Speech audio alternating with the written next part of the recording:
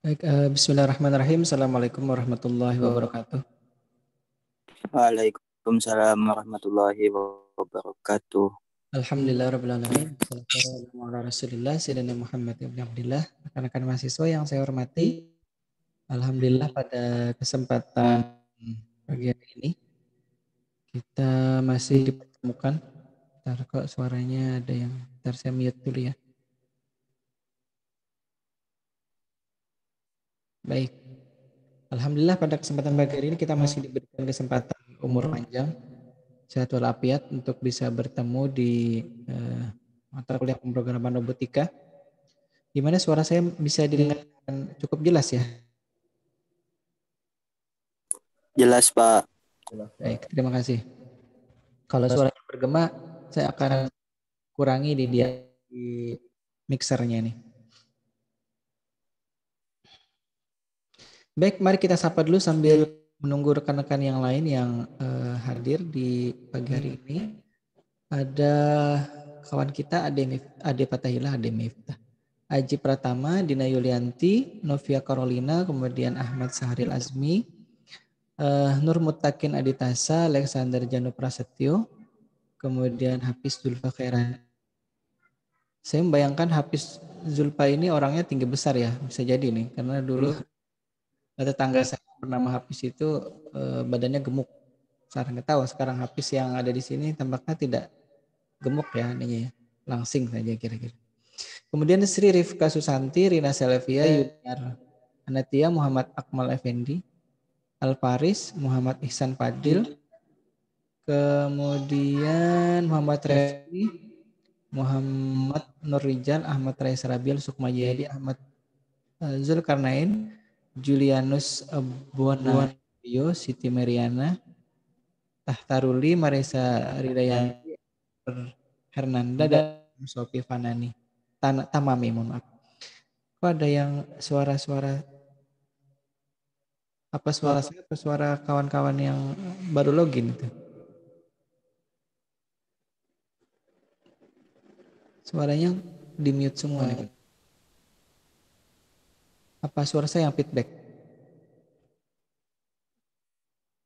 Gusman?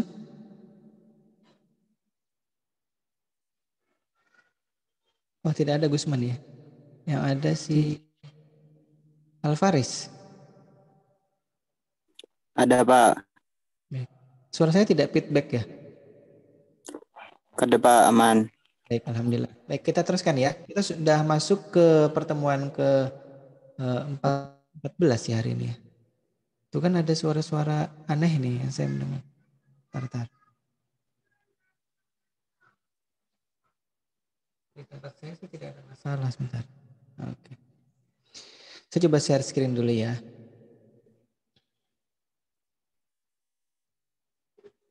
Baik, ini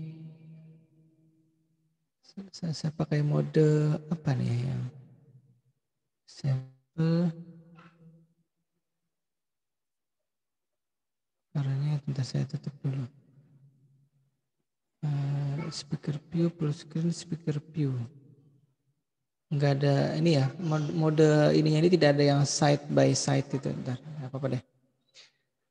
Saya teruskan lagi share screen nih. Oke, nah ini dia. Jadi uh, kita pertemuan ke-14 tanggal 8 Desember tahun 2020 tanggal bertepatan 23 Rabiul Awal 1442 Hijriah. Ini pertemuan ke-14 dan kita akan coba bahas yang kaitannya dengan robot dan komputer uh, vision ya. Kita lihat.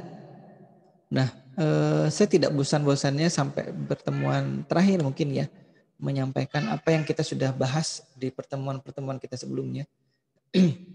Karena memang uh, terus terang saya sendiri pun tidak ingat kadang-kadang apa yang sudah saya sampaikan materinya di uh, pertemuan minggu lalu atau pekan yang lalu. Jadi untuk mengingatkan saya sendiri, saya harus mengulang lagi materi yang uh, kemarin saya apa namanya sampaikan itu apa. Sebentar saya minum.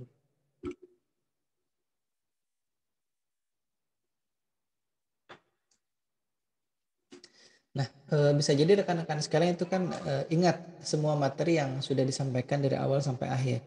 Tapi karena saya mungkin sudah cukup tua, jadi akhirnya uh, mengingat yang minggu yang lalu saja saya tidak tidak kadang-kadang lupa jadinya.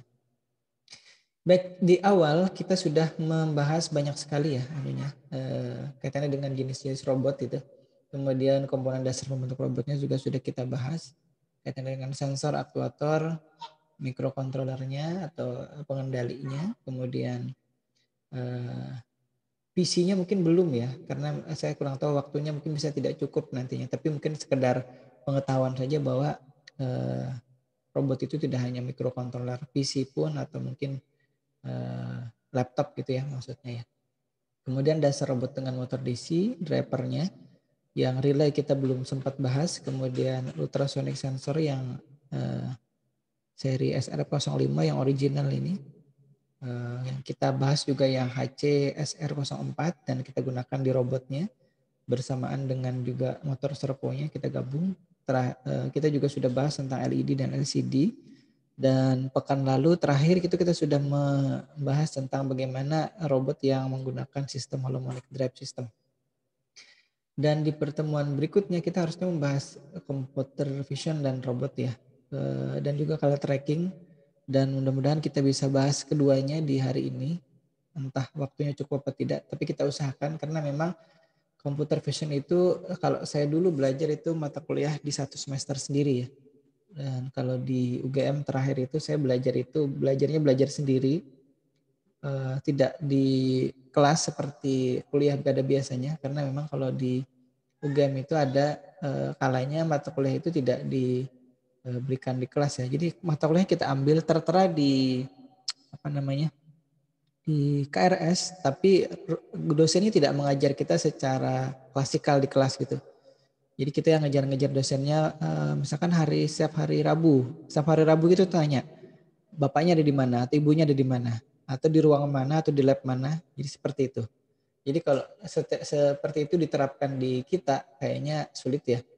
Uh, saya pun di awal-awal itu merasa kesulitan kalau model kuliahnya seperti itu. Bayangkan saja setiap uh, kali pertemuan kita harus nanya dulu di mana atau kadang-kadang pas sudah nunggu lama gitu ada WA masuk dari beliau bahwa hari ini uh, mungkin tidak kuliah beliaunya lagi ada acara rapat misalnya atau apa gitu. Nah itu mungkin lebih lebih harus lebih sabar lagi gitu ya. Jadi uh, saya kira uh, kami di waktu kuliah di UGM itu sudah ditempa sekian tahun untuk uh, bisa bersabar itu ya mungkin lima tahun lah kurang lebih. Baik, kita lihat lagi uh, materi yang harusnya kita juga bahas adalah kamera stereo dan cara kalibrasinya. Saya kurang tahu apakah nanti bisa atau sempat waktunya karena saya ingin menyampaikan yang pertemuan terakhir itu adalah kaitannya dengan ini dengan uh, yang nomor 14 ini ya. Uh, kaitannya dengan penelitian saya. Jadi Uh, itu yang saya ingin bahas. Mudah-mudahan nanti kita bisa singgung. Kalaupun tidak nanti disinggung di perkuliahan uh, Zoom meeting ini, itu nanti bisa dilihat saja ya. Nanti bisa jadi saya coba berikan linknya.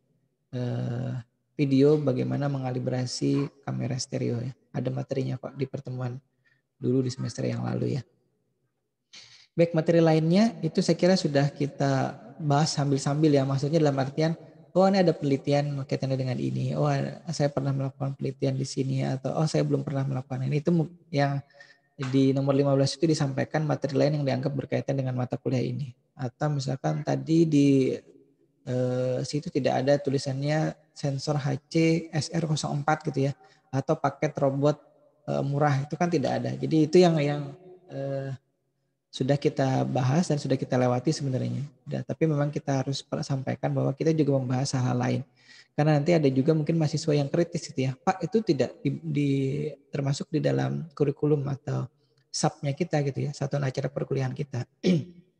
Kenapa dibahas nah itu? Tapi mungkin di Stimik Banjarbaru tidak sampai segitunya ya. Kebanyakan mahasiswa alhamdulillah e, nurut saja apa yang disampaikan gitu sesekali ada yang mungkin bertanya itu sudah cukup bagus.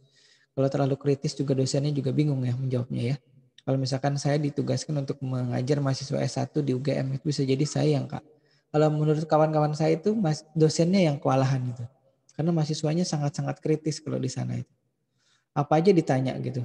Jadi kadang-kadang mereka sudah belajar lebih dulu sebelum uh, belajar di kelas. Jadi kalau dosennya eh, kurang-kurang sango istilahnya atau uh, background keilmuan atau pengalamannya kurang itu bisa jadi kalah dengan mahasiswanya ya. Nah di Semik Baru juga seperti itu sebenarnya. Tapi memang tidak terlalu ditunjukkan pada saat kuliah online seperti ini ya. Biasanya pada saat kuliah offline itu saya banyak menemukan rekan-rekan mahasiswa yang kemampuannya sudah di atas rata-rata itu. Jadi mereka sudah belajar banyak, sudah mencoba banyak hal, dan sering kali saya yang belajar ke kawan-kawan mahasiswa ya. Baik. Biar saya minum lagi.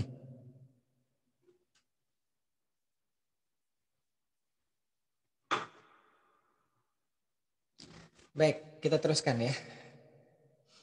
Mungkin ada yang bertanya-tanya kenapa backgroundnya ungu ya. Saya juga tidak tahu, asal saya pilih saja. Pokoknya ada background, uh, saya mencari computer vision gitu, dia tidak juga adanya munculnya kalau saya pakai kata kunci kamera itu di aplikasi untuk uh, template online ya.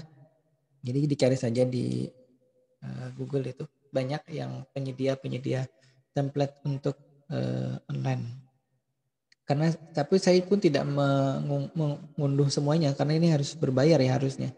Jadi saya create di sana saya hanya uh, screenshot saja kemudian gunakan template-nya ini. Karena sebenarnya ada template uh, khususnya ya kalau misalkan kita berbayar itu.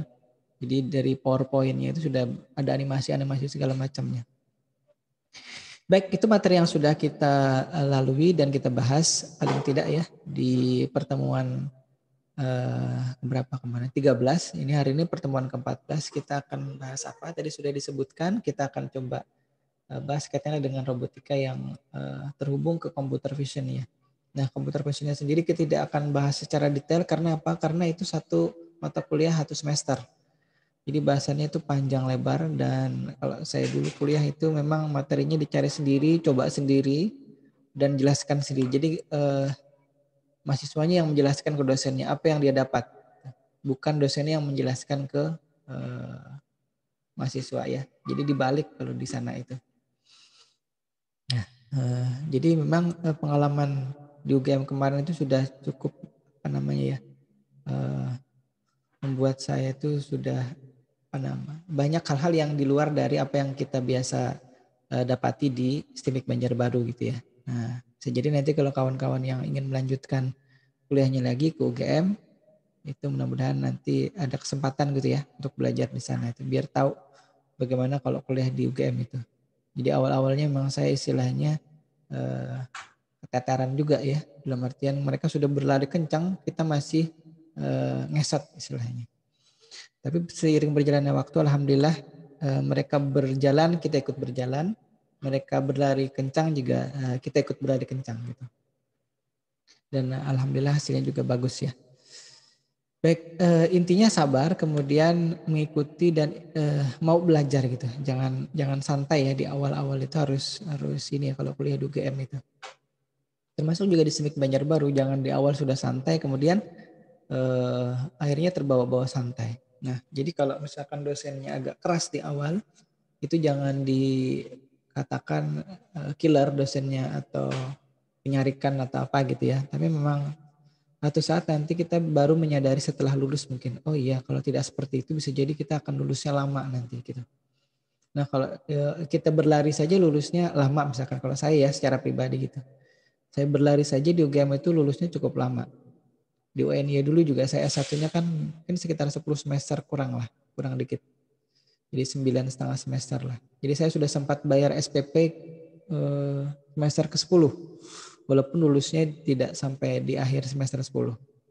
Tapi tetap tercatat bahwa saya sudah beres PP 10 kali gitu kan. Jadi nah itu dia. Jadi sudah berlari kencang pun tetap eh, ternyata tidak bisa eh, kencang ya. Di S1 dulu saya lulus nomor 3 kalau tidak salah dari keseluruhan kawan-kawan saya yang S1 itu. Jadi eh, kawan saya sekarang yang lulus pertama kali itu sekarang sudah jadi guru besar di eh, Universitas Negeri Yogyakarta ya yang lulus kedua itu sekarang jadi guru teladan di Balangan sana. Mungkin ada orang Balangan di sini? Ada yang dari Balangan? Kawan saya guru di SMK, saya tidak tahu ya, tidak ingat saya SMK negeri berapa itu di Balangan. Nah, beliau jadi uh, guru teladan, sudah sampai ke luar negeri, sudah sampai ke Belanda, Prancis, bahkan ke Amerika juga ya. Eh, apa namanya? lomba dan kursus singkatnya dia. Jadi alhamdulillah gitu. Saya aja belum belum pernah ke sana. Baik kita lihat uh, mungkin ada pertanyaan ini bagaimana sebuah objek itu bisa ditelusuri ya atau kalau bahasa ininya sih di tracking ya oleh sebuah komputer. Jadi kalau uh, misalkan si Alvarez punya sepeda motor untuk dia bisa tahu sepeda motornya tadi di mana bisa jadi dia akan gunakan GPS ya. GPS dia pasang di situ. Kemudian nanti uh, eh, GPS itu terhubung ke internet. Kemudian uh, melalui website yang uh, penyedia uh, GPS tracking tadi nanti bisa dilihat oleh Arparis secara online gitu lewat smartphone-nya. Oh sepeda motor saya ada di posisi ini. Kalau mungkin yang lebih detail gitu ya di parkiran itu dia bisa tahu posisinya di sebelah utara, sebelah timur atau sebelah barat atau sebelah selatan gitu. Nah itu yang lebih lebih spesifik ya. Kalau akurasi dari GPS-nya mungkin di bawah satu meter itu akan lebih bagus. Tapi kalau sudah di atas 10 meter itu agak-agak Eh, apa namanya ya membingungkan. Jadi kalau misalkan posisinya oh menurut GPS nih di halamannya parkirannya Stimik tapi ternyata uh, dia sudah ada di mana di gedung sebelah misalkan atau di parkiran karaoke sebelah itu kan di sebelahnya Stimik Banjarbaru yang di Banjarbaru itu kan ada karaoke sebelahnya. Bisa jadi seperti itu ya kalau misalkan akurasi dari GPS-nya uh, lebih dari 10 meter. Nah, Uh, itu salah satunya ya kalau kita ingin melakukan tracking atau penelusuran terhadap sebuah objek. Nah, uh, cara lainnya adalah dalam melakukan uh, tracking warnanya ya atau menelusuri warnanya. Nah, itu kalau misalkan uh, warna ini yang nanti kita contohkan adalah kalau ini objeknya ada di dalam ruangan ya. Karena memang robotnya juga sementara ini yang dicontohkan adalah uh, robot yang berjalan di dalam ruangan, bukan robot yang berada di luar ruangan. Mungkin ada yang bertanya apa bedanya di dalam dan luar ya? Beda antara uh, kamera sendiri kalau misalkan Anda atau kita beli gitu ya, kamera webcam misalkan, maka itu ada peruntukan nanti indoor ataupun outdoor. Uh, atau ada yang pernah masang CCTV atau melihat-lihat CCTV itu kan ada CCTV yang khusus indoor, ada yang outdoor. Kalau CCTV yang indoor dipasang di outdoor, maka dia akan nanti menampilkan gambar yang uh, jelek atau mungkin terlalu backlight atau terlalu saturasi warnanya terlalu jelek ya atau terlalu tinggi gitu ya. Akhirnya uh, gambar atau video atau image yang dihasilkan itu tidak lagi sesuai dengan apa yang uh, real di lapangan gitu. Jadi memang tapi ada juga sens, uh, si kamera yang memang bisa digunakan baik itu di luar ataupun di dalam ruangan. Nah, kaitannya dengan tadi uh, cara menelusuri objek yang berwarna ya dari dari warnanya maksudnya atau tracking objek yang berwarna itu sensor apa yang digunakan. Salah satu yang mungkin ada dan dulu e, digunakan ini saya sudah sudah ada mungkin sejak tahun 2007 ya. Saya dulu ikut bersama-sama tekan rekan mahasiswa tim robotika Semik Baru itu ke Surabaya. Rekan-rekan mahasiswanya naik kapal dulu Uh, itu si tim-tim dari luar sana dari ITS dan PENS yang saya ingat itu sudah menggunakan sensor warna ini ya. Semik Banjarbaru belum sama sekali menggunakan sensor ini karena ini harganya dulu cukup mahal ya. Tapi sekarang kalau nanti dicek di link yang saya berikan ini harganya mungkin di bawah 50 ribu atau bawah di bawah 100 ribu ya kalau kira-kira kalau yang uh, model yang lainnya itu. Nah ini sudah bisa langsung kita hubungkan ke Arduino. Kalau uh, kontrolnya menggunakan Arduino ya. Tapi kalau nanti kita menggunakan komputer, misalkan kita menggunakan webcam, kamera, maka kamera itu yang nanti kita program di komputernya. Nah nanti yang kita bicarakan hari ini adalah yang bagaimana memprogram eh, kamera untuk keperluan objek tracking atau penelusuran objek tadi ya. Jadi karena saya tidak punya ini si sensor warnanya, saya kemarin lupa beli ini, harusnya beli jatuh ya. Eh, harganya tidak terlalu mahal ini untuk bisa diperlihatkan ke kawan-kawan mahasiswa. Jadi saya mohon maaf baik sensor yang tadi ini, sensor warna yang jenis yang pertama tadi atau sensor warna yang jenis yang ini, serinya mungkin sama, tapi saya tidak tahu persis yang mana yang 230, yang mana 3200 ya. Nanti dicari tahu e, dari dua gambar ini yang mana yang 230, yang mana e, eh, 3200 ya. Itu ada sudah saya berikan linknya, nanti bisa diketik di Google TCS 230 itu yang muncul yang mana biasanya ada uh, website resminya akan menyampaikan datasheet atau manual usernya ya, yang mana yang 3200 atau yang 230. Tampaknya perusahaannya sama itu. Baik, ini ada video demo dulu sebelum kita uh, membahas programnya ya. Ini sebenarnya nanti tidak dibahas secara detail programnya ini ya, karena memang ya, programnya ini cukup kompleks untuk bisa uh, melakukan tracking warna sekaligus menggerakkan robot ini. Nah, robot ini sudah kita bahas uh, sebelumnya di pertemuan ke-13 yang lalu ya untuk holonomic drive system. Jadi robot yang saya gunakan adalah ini. Mohon maaf, ini videonya mungkin agak gelap ya, bukan agak gelap lagi, bukan agak lagi gelap. Karena waktu pengambilan ini ini ada di eh, kamar yang lampunya tidak terlalu terang. Tapi eh, kenapa saya ambil di kamar yang agak gelap? Karena memang juga sengaja untuk memastikan bahwa proses deteksi warna dari objek dalam hal ini lampu ya saya tunjuk ini cuma saya tunjuk dulu. Ini ada lampu yang uh, saya letakkan di atas meja berwarna hitam, lampunya berwarna kuning, lampu meja. Lampu meja ini di kalau dihidupkan itu dia berwarna kuning gitu ya. Tapi kalau tidak dihidupkan covernya ini atau cupnya ini tetap berwarna kuning. Ini menggunakan baterai triple A tiga kali ya, tiga baterai triple A. Ini kalau dilihat dia sedang memposisikan uh, robotnya. Jadi, nah ini dia maju kemudian geleng-geleng. Nah ini uh, sebenarnya programnya masih belum terlalu bagus ya karena dia banyak masih banyak geleng-gelengnya.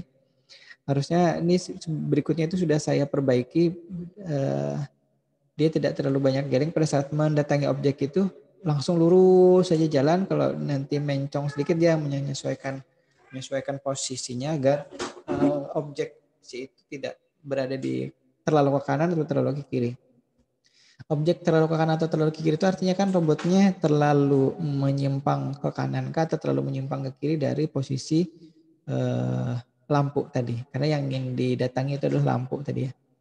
Nah, tadi sekilas ya nanti videonya saya unggah saja lagi ke channel YouTube itu biar nanti bisa dilihat berulang-ulang kalau penasaran ya. Nah, eh, mungkin ada yang penasaran kira-kira apa yang eh, dilakukan oleh robot tadi. Intinya tadi ada sebuah robot yang sudah dilengkapi dengan holonomic drive system untuk chassis atau penggeraknya. Kemudian ada laptop di atasnya, kemudian ada kamera juga yang terpasang di situ. Kebetulan kamera yang dipasang kamera stereo. Kemudian nanti bisa dilihat materi yang kaitan dengan kalibrasi kamera stereonya ya. Nah ini kalau lupa holonomic drive system itu apa yang kemarin kita sudah bahas atau sebelumnya sudah kita bahas nih ya yang eh, gerakan robot itu bisa banyak sekali ya variasinya. Bisa maju mundur kemudian ini bergeser ke kanan ke kiri belok kanan belok kiri. Jadi pada saat dia tadi jalan maju gitu ya ada kalanya dia nanti belok ke kanan untuk memposisikan penglihatan dari lampu yang tadi dideteksi itu berada pada posisi tengah secara horizontal. Jadi kalau misalkan kita melihat misalkan Alparis ini ya atau Gusman atau siapa Novia misalkan ya melihat sebuah objek lampu di uh, di dalam rumah ya lampu. Maka pada saat kita gelengkan kepala kita itu kan secara horizontal ya, maka uh, posisi lampu itu kan tidak lagi pada posisi di tengah. Bisa jadi nanti agak ke kanan, bisa jadi agak ke kiri. Nah pada saat robot ini bergerak juga menuju lampu itu uh, bergerak maju ya, maka pada saat dia bergerak maju itu nanti kan sudutnya kalau itu uh, tidak lurus ya, maka ada sudut nanti yang terbentuk sehingga pada saat dia sudah mencapai uh, jarak tertentu dari si lampu tadi atau objek lampu tadi, nanti posisi dia di kamera itu di yang terlihat di kamera tidak lagi di tengah. Jadi dia sudah agak ke kanan ataupun agak ke kiri. Karenanya dia perlu menyesuaikan posisinya. Karena memang dia diprogram untuk tidak kehilangan eh, apa namanya objek lampu tadi. Karena kalau misalkan sudah terlalu ke kanan, dia teruskan nanti hilang gitu kan penglihatannya terhadap lampu. Padahal dia yang diinginkan adalah melakukan tracking. Tracking itu kan berada pada posisi lampu terus. Jadi lampunya ke mana dia ikut gitu. Nah, nanti ada sebenarnya ada videonya nih. Harusnya videonya saya letakkan di awal ya untuk memperlihatkan. Nah tadi sudah sekilas tadi ya videonya untuk proses tracking lampunya. Jadi kalau dia nanti di ada video lagi kalau misalkan dia eh, lepas penglihatannya dari lampu itu dia akan berhenti. Nah intinya yang pertemuan kali ini, pertemuan 14 ini adalah lanjutan dari yang eh, sebelumnya untuk materi robot yang menggunakan holonomic, holonomic drive system. Nah ini tadi sebenarnya yang dilakukan oleh robotnya ya proses tracking atau penelusuran objek berwarna kuning. Tapi yang saya perlihatkan di slide ini sekarang adalah kalau si kamera eh, si komputer melihat objek berwarna kuning itu terdistorsi atau eh, dipenuhi dengan noise yang lain ya. Jadi ini sini pintu mungkin bahkan tembok juga kadang-kadang terdeteksi berwarna kuning juga. Temboknya berwarna krem di sini ya. Eh, yang kebetulan ada di lab saya ini di Jogja itu di UGM. Kemudian ternyata jidat saya, hidung saya juga terdeteksi. Coba diperhatikan gitu ya. Ini dahi saya atau jidat saya juga uh, dideteksi uh, berwarna kuning oleh si komputer. Nah, bagaimana caranya agar nanti yang dideteksi itu hanya lampu saja, tidak tidak uh, yang lain-lain ya. Nanti ada parameter-parameter yang harus kita uh, setting. Nah, yang perlu kita tahu bagaimana algoritmanya dulu. Jadi algoritma itu yang benar ya sesuai dengan eh, maksud saya kata algoritma bukan algoritma. Eh, menurut KBBI ya Kamus Besar Bahasa Indonesia eh, ya, yang benar itu ditulis algoritma bukan algoritma. Jadi nanti eh, saya dulu juga salah itu pada saat mengambil mata kuliah algoritma pemrograman itu kan algoritma dulu. Mungkin dulu kampus di UNI itu juga tidak sadar bahwa kata algoritma yang benar bukan algoritma. Istimik juga kalau tidak salah ya dulu ya. Baik, uh, mungkin ada yang mau ditanggapi dulu dari sini yang sudah sekilas uh, kita jelaskan tadi. Ada yang mau menanggapi? Belum ya? Baik. Kalau belum kita akan lihat. Uh, yang pertama kita mendapat masukan dari citra kanan. Jadi kalau tadi kamera stereo yang digunakan hanya kamera kanan. Kenapa? Karena memang pada saat uji coba yang saya lakukan itu kamera kiri itu hasilnya tidak sama dengan hasil uh, deteksi jarak ya. Kalau deteksi jarak nanti kan dia jadi dari dua kamera itu menjadi satu citra namanya grid edge depth map. Nanti kalau banyak umur saya afiat di pertemuan terakhir akan kita bahas sama-sama itu ya. Jadi karena kenapa jadi citrakan yang digunakan ya. Nah, jadi karena alasan itu tadi ya eh, hasil pengukuran jarak itu lebih cenderung mirip dengan hasil eh, kamera yang eh, sebelah kanan. Karenanya untuk mendeteksi warnanya juga saya gunakan kamera kanan. Karena nanti objek yang titik kuning yang tadi itu, titik tengah kuning tadi juga saya ukur jaraknya. Berapa jarak itu ke eh, robot ya. Dengan menggunakan algoritma yang sudah eh, ada itu ya, sudah saya temukan. Kemudian setelah kita dapat masukan dari kita uh, kamera kanan ya. Kemudian uh, kita perlu mengonversi citra itu menjadi citra uh, eh, CMYK. Uh, cyan, kemudian magenta, yellow, dan black. Nah, karena kamera yang kita gunakan itu rata-rata adalah tipenya adalah RGB ya, atau red, green, blue karena uh, apa namanya defaultnya seperti itu. Untuk kita bisa nanti mendeteksi warna kuning, maka kita perlu konversi dulu ke CMYK. Kalau misalkan kita hanya ingin mendeteksi warna merah saja atau biru saja atau hijau saja, maka tidak perlu dikonversi ya.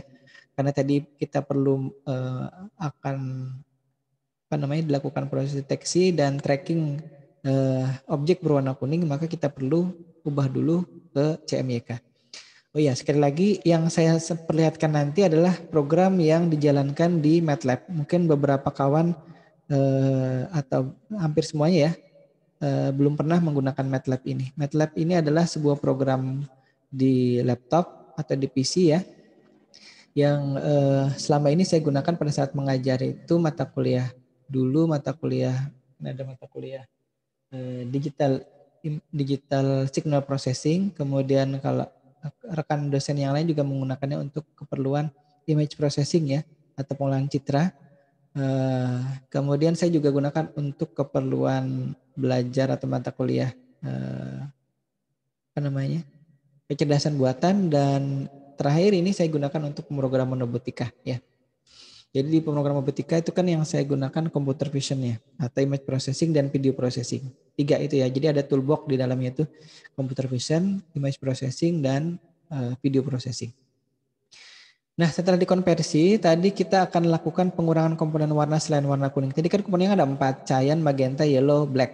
Maka yang kita pakai yang kuning saja, komponen ketiga, CMK K-nya kita hilangkan. Jadi nanti kita setting nanti dilihat ada uh, apa namanya coding angka tiganya. Itu menunjukkan bahwa angka ketiga dari susunan uh, cyan magenta yellow black. Setelah itu kita konversi setelah jadi yellow ya yellow tadi kita konversi menjadi citra abu-abu atau gray gray scale. Kemudian baru kita filter atau tapis menggunakan median filter. Kenapa jadi di median filter? Nanti ada alasannya juga ya. Nanti untuk me, uh, apa namanya membuat citra selain berwarna kuning kuning yang kita maksud ya maksudnya ya. Jadi karena kalau tadi kan eh, jidat saya juga kena, hidung saya juga kena, bahkan mungkin tangan saya juga dideteksi sebagai warna kuning. Untuk itu kita perlu melakukan filtering filtering. Nah salah satunya menggunakan median filter ini untuk eh, membatasi citra kuning saja yang kita tuju yang eh, apa namanya kita deteksi atau nanti kita lakukan tracking. Kemudian setelah dia grayscale kita filter tadi ya, kemudian kita ubah lagi setelah difilter eh, menjadi citra hitam putih dengan threshold atau ambang batas 0,3. Nanti nilai ini relatif sekali ya, jadi bisa masing-masing kamera itu bisa jadi beda nanti. Makanya eh, saya sampaikan di awal ini tidak harus 0,3 bisa jadi nanti 0,4 atau 0,2 atau 0, berapa. Nanti kalau misalkan terlalu tinggi bisa jadi nanti akan banyak eh, warna kuning lain selain warna yang kita tuju ya. Atau sebaliknya nanti terlalu kecil nanti tidak ada yang deteksi warna kuningnya. Kemudian hilangkan pixel metrik yang uh, kurang dari 10. Jadi kalau misalkan dia mendeteksi oh tangan saya 10 pixel, kemudian hidung saya 10 pixel, nanti selain yang kurang dari 10 pixel dia akan uh, dianggap bukan berwarna kuning. Ya, baru kita akan labeli kemudian baru kita akan cari titik tengah, labeli dan sekaligus boundary ya. Kalau tadi kan di contohnya itu kita beri kotak-kotak atau ya kotak ya segi empat gitu untuk menandai bahwa itu objek berwarna kuning ukurannya sekian gitu. Dalam satuan pixel ya. Nah coba kita lihat implementasi programnya ya. Sekali lagi ini dibuat di MATLAB. Saya menggunakan MATLAB versi 2013A. Ada MATLAB 2013B. Bentar.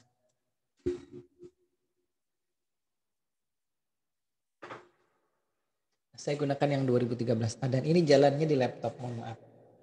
Jadi bukan di Arduino. Jadi sampai nanti coding program ini dicoba di Arduino terus bukan jalan ya karena memang ini bukan jalan di uh, Arduino ya. Baik, ada perintah close all. Ini mirip saja ya dengan karena ini bahasa program yang ada di MATLAB itu mirip dengan Arduino. Dan artian dia sama-sama menggunakan bahasa C. Hanya saja kalau di Arduino itu kan kalau komentar menggunakan double slash kalau tidak salah. Uh, kalau di sini di MATLAB dia menggunakan tanda persen kalau tidak salah untuk komentar. Jadi itu salah satu bedanya ya. Nanti ada juga beda-beda uh, sedikit lagi. Kalau tidak salah uh, kaitannya dengan misalkan if dan else-nya itu kalau di di apa namanya di Arduino dia kan menggunakan if apa kemudian begin end-nya itu menggunakan tanda kurung kurawal buka dan kurung kurawal tutup ya. Kalau di MATLAB tidak perlu itu karena dia sudah bisa deteksi begin end-nya secara uh, otomatis gitu. Itu mungkin bedanya. Kalau nanti dicari tahu kira-kira uh, antara bahasa C-nya MATLAB dengan bahasa C-nya si Arduino. Beda sedikit. Pada dasarnya kalau yang sudah Eh, terbiasa menggunakan bahasa C di Arduino itu akan juga tidak terlalu sulit memahami bahasa C di sini ya. Nah berikutnya kita membuat buah variabel feed, feed yang intinya adalah uh, mengambil atau mengakuisisi nanti dari video input. Nah win video 1, YUY2, 320, 240 ini nanti tergantung dari masing-masing kamera di laptopnya ya. Nanti ada yang Metroc atau ada yang win video, ada yang lain lagi ya. Mungkin ada saya tidak lihat persis mungkin ada banyak. Nah nanti kalau untuk mencari tahu itu kita biasanya menggunakan perintah imaktul ya. Nah, jadi di komen uh, promnya di komen prom di komen Windowsnya di MATLAB itu diketik I M A Q kemudian T O O L imaktul nanti akan muncul. Mungkin saya belum sempat memperlihatkan itu ya di sini ya. Uh, kalau diketik perintah tadi di enter kemudian nanti akan muncul uh, perangkat kamera yang terpasang di uh, laptop ya. Jadi kalau misalnya di laptop saya ini ada kamera bawaan laptopnya, kemudian ada kamera uh, Logitech C270 yang terpasang ke robot itu yang terdeteksi juga, kemudian ada uh, kamera mungkin kalau yang di kamera di kampus itu yang Logitech B524 atau 528 itu saya tidak ingat persis serinya 5 berapa gitu ya. Nah itu kalau misalkan ada juga saya menggunakan OBS itu virtual OBS kamera katanya. Deteksinya itu ya. Saya tidak sempat mengcapture jadi tidak terlihat di sini ya. Baik, jadi nanti caranya kalau eh, kawan-kawan sekalian atau rekan-rekan yang mau mencoba ini bisa dicari tahuin. Dicoba saja dengan coding program ini di MATLAB-nya mulai dijalankan kalau misalnya tidak jalan berarti nanti salah satunya karena win videonya ini yang tidak sama. Jadi harus dicari tahu di e, komputernya itu terhubung atau ada perangkat e, kamera atau webcam apa saja. Kemudian e, set video trigger repeat. Jadi ini selalu di anu ya, dijalankan terus menerus. Kemudian kita lihat di sini color space-nya adalah RGB Eh, kemudian video frame grab internalnya jadi dia akan di diakuisisi setiap empat jadi misalkan kalau kita uh, frame pertama kemudian di intervali empat berarti frame kelima di inter, intervali empat lagi uh, lima kemudian sembilan dan seterusnya gitu ya jadi uh, tidak setiap frame diambil karena kalau setiap frame diambil nanti bisa jadi laptop yang tidak tahan kalau yang speknya mungkin tidak terlalu tinggi ya. Seperti laptop saya misalkan. Uh, kalau misalkan kameranya itu 720 dan 25 frame per second, maka untuk dia bisa dimaksimalkan itu kita harus uh, frame grab intervalnya ini satu saja. Jadi setiap uh, atau nol gitu ya. Kalau nol berarti setiap frame-nya diambil. Kalau satu nanti berarti kan satu, tiga, lima, tujuh, gitu ya di intervalnya satu-satu nah, itu dia yang maksud interval tapi kalau yang intervalnya empat seperti ini di komputer saya sudah uh, jalan dengan lancar nah ini kondisi stopnya sama dengan satu ya nanti pada saat dia ingin melakukan stop akuisisinya maka uh, stopnya sama dengan satu Kemudian start video. Nah, ini dia yang yang juga dibatasi pada saat kita melakukan uji coba ini. Jadi kalau misalkan tidak diberi uh, apa namanya akuisisinya tidak dibatasi ya maka dia akan terus menerus untuk menyetopnya kadang-kadang agak sulit ya di ini di uh, MATLAB. Jadi kadang-kadang harus sampai menutup MATLAB-nya program MATLAB-nya baru dia akan berhenti proses akuisisinya. Nah untuk ini bisa di uh, setting dalam dalam jangka waktu tertentu maka kita batasi hanya 500 kali mengambil uh, citra ya. Jadi 500 kali dari kalau misalkan tadi satu kemudian frame pertama, frame kelima, frame ke sembilan, kemudian frame ke 13 gitu ya. Dan seterusnya itu hanya 500 kali saja. Jadi dia setelah 500 nanti berhenti. Nanti ada ada ininya ya. Ada demonya. Kemudian ada tik ini adalah uh, bukan TikTok ya. Sebenarnya TikTok juga tapi TikTok bukan TIK tapi TIC. Ini timer in counter ya. Kemudian nanti timer out counter untuk me eh, hitung berapa waktu yang diperlukan untuk proses pertama kali mengakuisisi sampai nanti hasil trackingnya itu keluar. Nah, jadi dia akan eh, menghitung ini untuk saya biasanya untuk melihat oh seberapa cepat ini bisa dilakukan, apakah bisa real time apa tidak gitu ya. Itu yang yang kita ingin cari tahu. Jadi misalkan satu prosedur itu kita ingin ukur berapa yang diperlukan oleh komputer waktunya eh, dalam memprosesnya. Baik get data video satu. Tadi ya video tadi uh, ada variabel di awal tadi ya yang kita gunakan dan sesuai dengan uh, tipe kameranya. Nah ini tadi yang mengonversi dari uh, apa tadi? Dari RGB ke RGB ke CMYK ya. Kemudian ini yang tadi mengurangi, saya katakan tadi dari CMYK itu kan C1, C itu yang pertama, kemudian M2, Y ketiga, Y itu kan yellow, kemudian K itu yang keempat. Nah, untuk dia bisa kita ambil yang uh, yellow-nya saja, maka kita setting di sini yang ketiga. Jadi data yang ketiga yang diambil dari uh, data tadi ya. Ini kan datanya habis hasil konversi dari RGB ke CMYK. Yang ketiga saja makanya uh, magenta, eh, cyan, magenta dan black-nya nanti akan hilang. Kemudian setelah nanti dikurangi atau di subtraction tadi, kemudian dia akan di lagi di, di apa namanya dikonversi menjadi grayscale atau citra abu-abu tadi. Kemudian baru dilakukan median filter. Setelah itu dikonversi menjadi uh, citra black white ya, black and white. Jadi citra hitam putih. Kenapa citra hitam putih? Karena nanti citra hitam putih itu lebih uh, ringan di prosesnya daripada citra grayscale. Citra grayscale lebih ringan daripada citra RGB atau lebih ringan lagi juga daripada citra CMYK.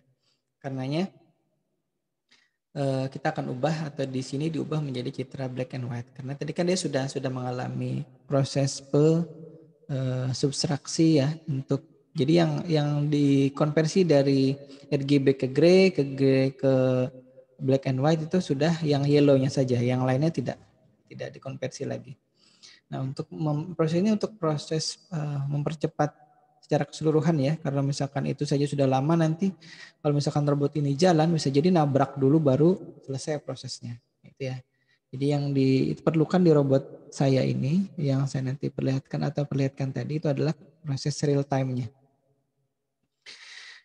Nah, itu sudah saya tulis di situ nilai per, di kasus saya ya nilai 0,2 itu eh, digunakan untuk kalau tadi 0,3 ya kalau di algoritmanya. Nah, di kasus saya itu 0,2 eh, ini yang eh, bisa hanya warna kuning saja yang dideteksi. Jadi warna lain tidak.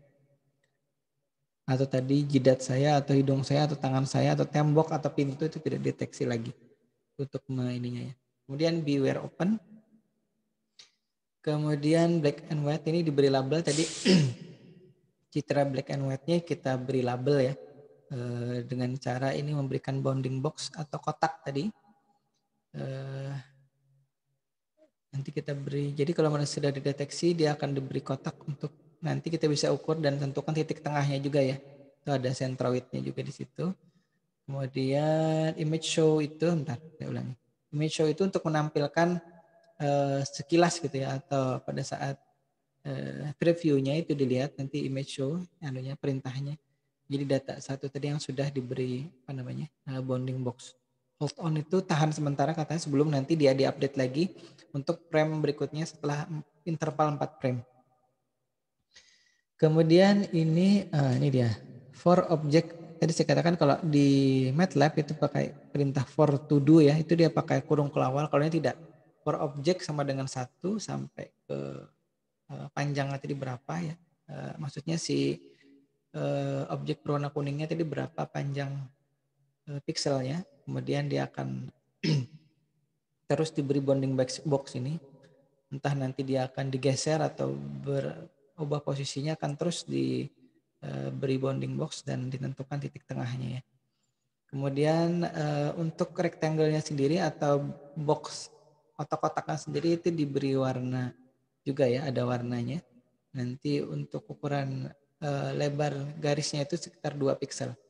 Kemudian ini di akan ditambahkan lagi beberapa teks ya teks untuk ukuran y-nya berapa e, kemudian y-nya di posisi mana maksudnya x-nya di posisi mana kemudian juga ada tanda plus ya kalau tidak salah ya itu ya untuk me, e, tanda titik tengahnya ya. Nah ini e, fontnya Arial kemudian nanti kalau mau Times New Roman silahkan diketik si Times New Roman gitu ya.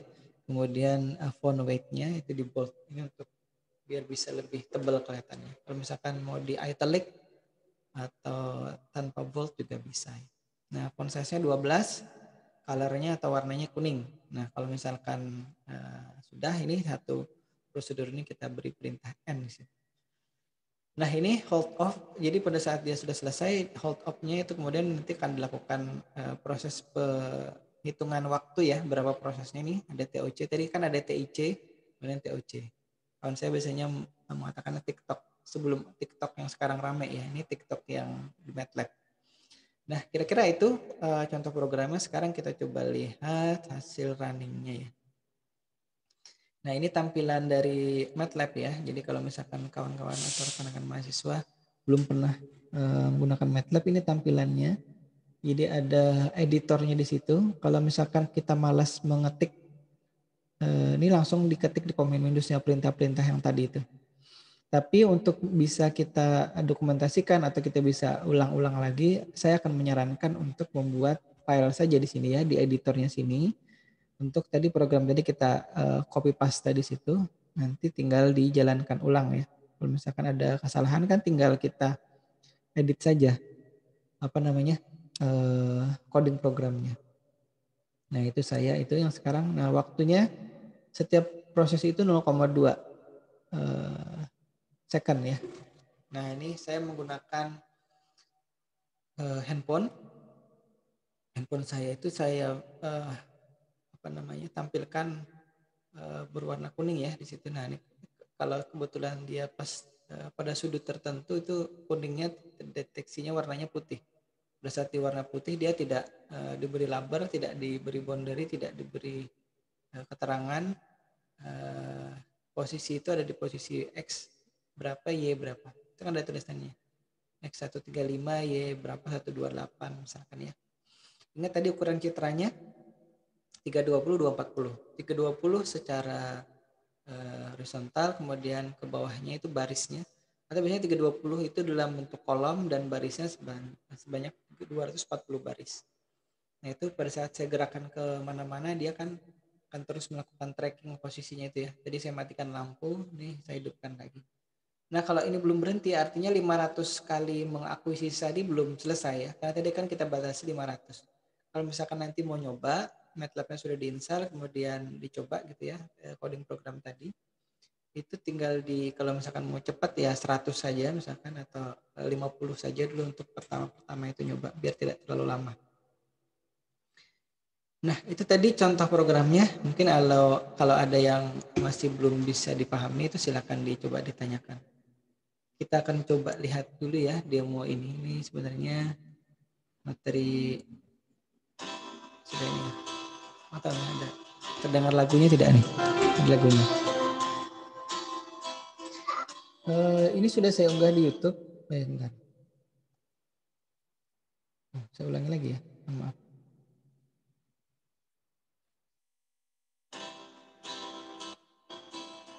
Nah ini uh, di posisi yang lebih terang ya. Jadi saya sudah mengubahnya. Nah ini saya katakan tadi masih geleng-gelengnya masih terlalu banyak harusnya uh, berikutnya itu sudah saya perbaiki untuk proses galeng-galengnya ini. Galeng-galeng ini dalam artian dia memposisikan alhamdulillah memposisikan penglihatan kameranya itu ke objek lampu berwarna kuningnya sehingga dia posisinya pada posisi tengah. Nah ini yang dia hilang loss ini ya loss objek dia jalan saja tidak tidak tahu arahnya. Lalu dia ketemu lagi Nah ini dia ngukur ininya ya. Dia ngukur apa namanya jaraknya terhadap objek itu kalau jaraknya uh, kurang dari 50 cm dia sudah langsung berhenti. Nah, itu saya tarik-tarik lampunya dia akan terus menelusuri. Nah kalau sudah posisinya lurus berada di tengah dia akan jalannya lurus saja maju ke depan gitu ya. Nah, dia posisinya tidak lurus lagi, tidak di tengah artinya. Dia akan melakukan positioning lagi. Sedelas itu eh, yang atau eh, LCD juga yang ada di bagian bawahnya itu menyala-nyala ya. Itu artinya dia sedang aktif uh, driver dari roda sebelah mana yang yang aktif itu. Baik sambil ada masih waktu kurang lebih dua menit Mungkin ada yang mau ditanyakan sambil jalan sambil melihat ini ya videonya. Ini kayaknya masih saya geser lagi nih. Masih ada ya kurang lebih. Oh iya, masih saya geser lagi. Pak, mohon izin Pak ingin bertanya. Ya, silakan. Ntar saya pause dulu ya videonya. Silakan. Belum saya Rizky Ramadan Pak ingin bertanya.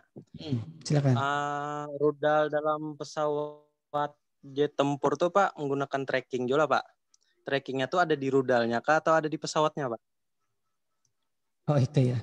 Aduh ini sudah jauh sekali ya, anu ya pertanyaannya ya. Iya memang uh, itu sudah cukup kompleks ya, anunya ya. Uh, apa yang ada di rudal itu. Jadi yang saya tahu itu memang sudah ditandai secara dia kan pakai satelit itu. Jadi posisi kalau dia men-tracking kalau tadi ya pakai GPS itu kan juga pakai satelit kadang-kadang kan akurasi dari satelit GPS itu kan tidak terlalu tinggi ya. Tapi kalau misalkan si rudal, kalau pesawat-pesawat tempur gitu ya, dia uh, sudah pakai uh, sensor atau tadi uh, tracking menggunakan GPS yang uh, akurasinya sangat tinggi. Misalkan dia akurasinya dalam 5 cm misalkan. Jadi kalau dia bisa menunjuk objek tertentu misalkan uh, gedung gitu ya atau misalkan uh, mobil tank maka dia tunjuk di itu di monitor di pesawat si posisinya itu akan terus dikunci di situ. Jadi maksudnya dikunci uh, berdasarkan data yang akurat tadi dari uh, apa namanya satelitnya bahwa posisinya di titik mana. Nah si rudalnya itu akan menyesuaikan posisinya kalau misalkan dia menyimpang dia kan akan berputar dulu kan karena dia ada ada AI-nya juga ada kecerdasan buatan juga yang ditanamkan di situ ya mungkin sangat-sangat rumit itu sehingga dia bisa uh, mungkin waktu terbangnya misalkan dia mampu terbang selama 10 menit gitu ya jadi kalau selama itunya tidak tercapai uh, posisinya untuk dia menuju ke situ dia akan berputar dulu misalkan mencari posisi yang tepat sehingga uh, apa namanya tadi data yang diberikan oleh satelit dan juga titik yang sudah ditunjuk oleh si uh, pengendalinya tadi, misalkan si apa namanya pilotnya ya, itu sudah tepat baru dia akan menuju ke situ. Kira-kira seperti itu ya. Mungkin kalau hanya warna saya kira tidak bisa. Jadi dia sudah lebih dari sekedar warna. Karena kalau warna ini kan cenderung uh, bisa berubah-ubah dan uh, gampang terganggu oleh noise dari sekitarnya ya. Seperti tadi misalkan tangan saya lah, entah tembok lah, entah pintu lah, entah yang lain, objek yang lain. Jadi kalau untuk yang rudal itu saya kira tidak bisa pakai warna. Dia harus pakai data yang lebih akurat. Misalkan tadi data posisi dari eh, GPS yang akurasinya tinggi ya. Kira-kira itu ya, Rizky ya? Iya, Pak. Baik, ini tadi sudah. Bentar. Nah, eh, apalagi yang bisa diperlukan ya? Tadi kalau tadi kan sekilas kita sudah melihat eh, apa namanya demonya ya. Saya kira kalau hanya holonomic drive sistemnya, oke okay, itu bagian untuk penggerak roda eh, robotnya. Kemudian tadi tracking warnanya. Nah sebetulnya masih banyak lagi yang diperlukan di situ ya. Jadi ada tadi proses mengukur jaraknya, kemudian proses untuk menyesuaikan posisi dari lampu yang selalu harus berada di tengah, tidak boleh kalau dia melenceng dia harusnya berhenti ya. Nah, kalau tadi kan ada juga yang dia mungkin mendeteksi warna lain sehingga eh, dia masih jalan terus ke depan gitu atau berjalan maju terus padahal harusnya pada saat dia tidak mendeteksi objek berwarna kuningnya itu di program yang saya buat itu dia harusnya berhenti. Nah, bisa jadi pada saat tadi diuji coba eh, program yang kita buat itu tidak tidak mesti akan berjalan dengan uh, sempurna ya atau dengan uh, baik. Ada hal-hal tertentu yang kadang-kadang di luar perkiraan kita, di luar program kita itu terjadi. Nah, itu yang kadang-kadang eh, kalau tidak sabar ya memprogram itu bisa jadi frustasi atau stres tingkat tinggi itu nanti.